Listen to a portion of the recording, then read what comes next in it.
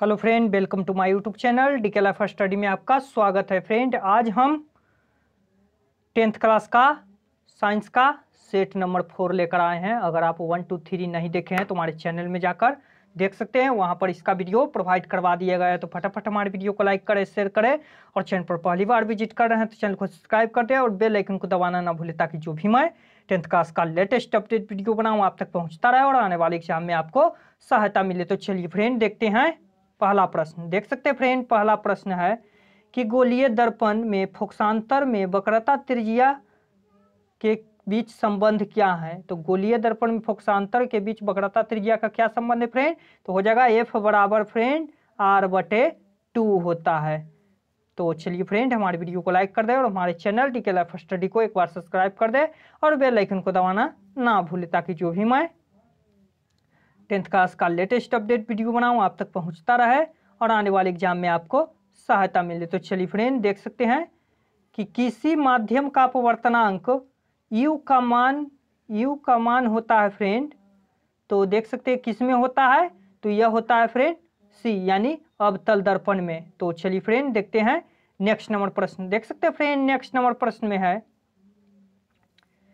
कि विद्युत धारा उत्पन्न करने वाले युक्ति को क्या कहते हैं? तो क्या कहते हैं फ्रेंड ए में है जनित्र बी में है गैल्वोमीटर सी में है मीटर डी में है वोल्ट मीटर तो इसका जो आंसर में हो जाएगा फ्रेंड वह ए हो जाएगा, यानी विद्युत धारा उत्पन्न करने की युक्ति को जनित्र कहते हैं। तो बहुत ही वीवीआई क्वेश्चन है फ्रेंड तो प्लीज़ फ्रेंड हमारे channel D K life history को एक बार सब्सक्राइब कर दे और बेल आइकन को दबाना ना भूले, ताकि जो भी मैं टेंथ क्लास का लेटेस्ट अपडेट वीडियो बनाऊँ, आप तक पहुँचता रहे और आने वाले एग्ज़ाम में आपको सहायता मिले तो चलिए फ्रेंड देखते हैं नेक्स्ट नंबर प्रश्न कि देख सकते हैं फ्रेंड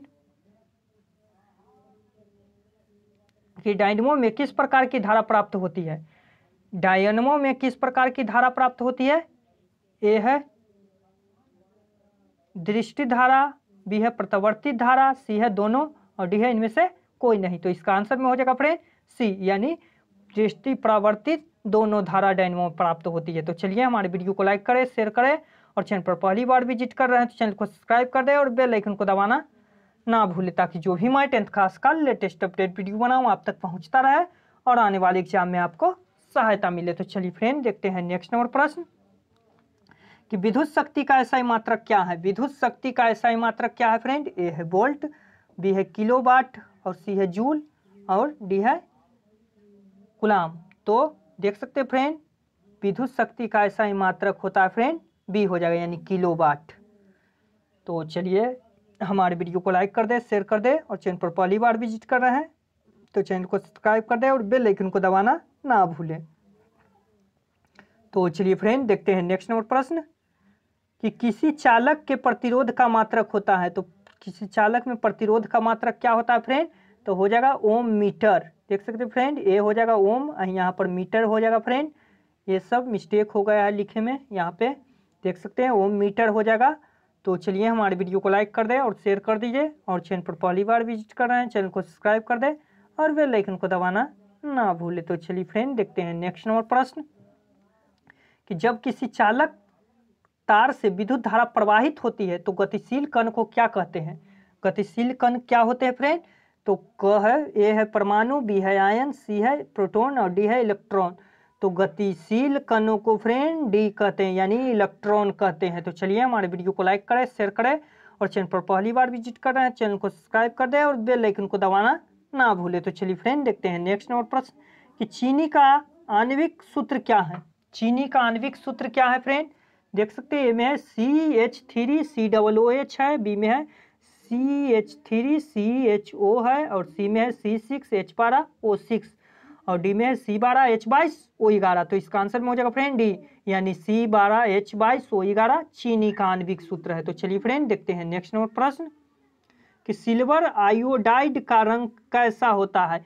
तो सिल्वर आयोडाइड का रंग कैसा होता है फ्रेंड? ए है पीला, बी है उजला और सी है हरा और डी है नीला। तो इसका आंसर में हो जाएगा फ्रेंड सिल्वर आयोडाइड का आयोडाइड का रंग ए हो जाएगा, यानी पीला होता है। तो चलिए फ्रेंड हमारे वीडियो को लाइक करें शेयर करें और चैनल पर पहली बार विज़िट कर रहे हैं तो चैनल को सब्सक्राइब कर दें और बेल आइकन को दबाना ना भूले ताकि जो भी मैं टेंथ क्लास का लेटेस्ट अपडेट वीडियो बनाऊँ, आप तक पहुँचता रहे और आने वाले एग्ज़ाम में आपको सहायता मिले। तो चलिए फ्रेंड देखते हैं नेक्स्ट नंबर प्रश्न किस धातु को चाकू से काटा जा सकता है? किस धातु को चाकू से काटा जा सकता है? ए है सोडियम बी है लोहा सी है कैल्शियम और डी है सोना। तो इसका आंसर में हो जाएगा फ्रेंड ए यानी सोडियम धातु को चाकू से काटा जा सकता है। तो चलिए फ्रेंड हमारे वीडियो को लाइक कर दे हमारे channel D K life study को एक बार सब्सक्राइब कर दे और बेल आइकन को दबाना ना भूले। तो चलिए फ्रेंड नेक्स्ट नंबर प्रश्न।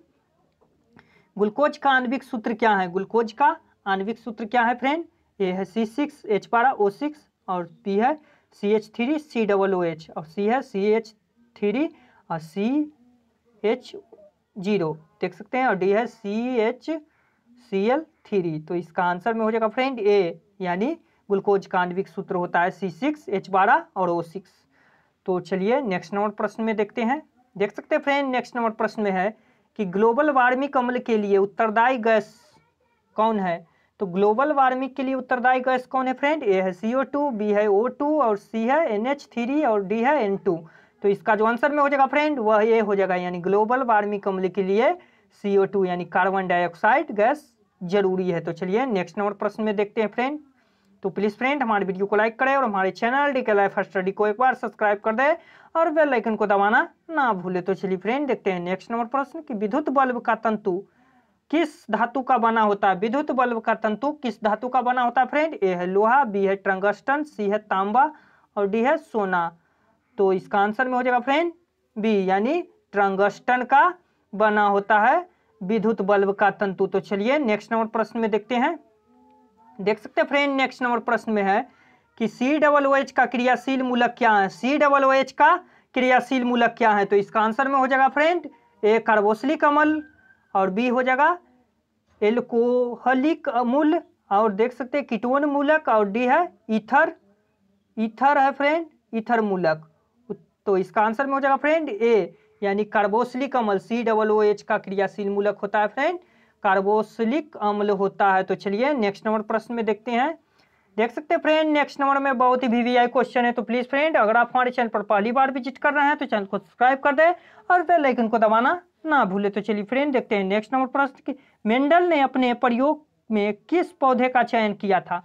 मेंडल ने अपने प्रयोग में किस पौधे का चयन किया था? क है मटर ख है सेम और ग है चना और घ सभी। तो इसका आंसर में हो जाएगा फ्रेंड क, यानी मेंडल ने अपने प्रयोग के लिए मटर का पौधा चयन किया था। तो चलिए हमारे वीडियो को लाइक करें और हमारे channel D K life study को एक बार सब्सक्राइब कर दे और बेल आइकन को दबाना ना भूले। तो चलिए फ्रेंड नेक्स्ट नंबर प्रश्न कि दो तंत्रिका कोशिका के मध्य खाली स्थान को क्या कहते हैं? दो तंत्रिका कोशिका के मध्य खाली स्थान को क्या कहते हैं? कह दो, द्रुमिका और ख सिनेटिक दरार और ग एकसान और घ है आवेश। तो इसका जो आंसर में हो जाएगा फ्रेंड, क। सॉरी फ्रेंड, इसका आंसर में ख हो जाएगा, यानी सेनेटिक दरार कहते हैं, दो तंत्रिका कोशिका मध्य खाली स्थान को। तो चलिए हमारे वीडियो को लाइक कर दे और हमारे channel D K life study को एक बार सब्सक्राइब कर दे और बेल आइकन को दबाना ना भूले। तो चलिए फ्रेंड, देखते हैं नेक्स्ट नंबर प्रश्न। कि एक लिंगी पुष्प का उदाहरण क्या है?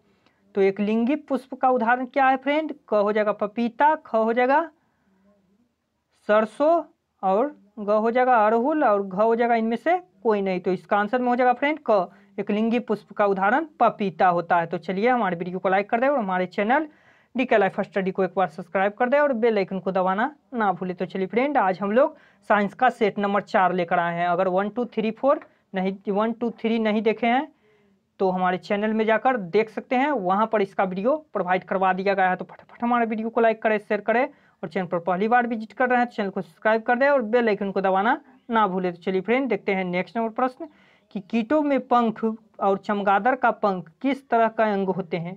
तो कैसा अंग होता है फ्रेंड क है समझात अंग, ख है अफसोसी अंग, ग है स्मृति अंग और ड है इनमें से कोई अंग नहीं। तो इसका आंसर में हो जाएगा फ्रेंड क, यानी समझात अंग होते हैं कीटों में चमगादड़ का पंख। तो चलिए नेक्स्ट नंबर प्रश्न में देखते हैं। देख सकते हैं फ्रेंड नेक्स्ट नंबर प्रश्न में है कि मनुष्य में सांस लेने, छोड़ने की क्रिया को क्या कहते हैं? तो क्या कहते हैं फ्रेंड? यहाँ पर देख सकते हैं क है स्वच्छ बास और ख है सप्सन और ग है निसप्सन और घ है उत्सर्जन। तो इसका आंसर में हो जाएगा फ्रेंड, क, यानी स्वच्छ स्वच्छ बास कहते हैं सांस लेने और छोड़ने की क्रिया को। तो चलिए हमारे वीडियो को लाइक कर दे और हमारे channel D K life study को एक बार सब्सक्राइब कर दें और बेल आइकन को दबाना ना भूले। तो चलिए फ्रेंड, देखते हैं नेक्स्ट नंबर प्रश्न में कि गुणसूत्र पाए जाते हैं तो गुणसूत्र कहाँ पाए जाते हैं फ्रेंड? कोशिका, ख उत्तक और घ, केंद्र, घ, सभी। तो गुणसूत्र पाए जाते हैं फ्रेंड, जो कोशिका में पाए जाते हैं। तो चलिए फ्रेंड, हमारे वीडियो को लाइक कर दे शेयर कर दे और चैनल पर पहली बार विज़िट कर रहे हैं चैनल को सब्सक्राइब कर दे और बेल आइकन को दबाना ना भूले, ताकि जो भी मैं टेंथ क्लास का लेटेस्ट अपडेट वीडियो बनाऊँ, आप तक पहुँचता रहे और आने वाले एग्ज़ाम में आपको सहायता मिले। तो चलिए फ्रेंड, आज हम लोग सेट साइंस का सेट नंबर फोर लेकर आए थे। तो चलिए नेक्स्ट वीडियो में सेट फाइव लेकर आएँगे। तो चलिए फ्रेंड, आज के लिए इतना ही। तब तक के लिए टेकन बाय।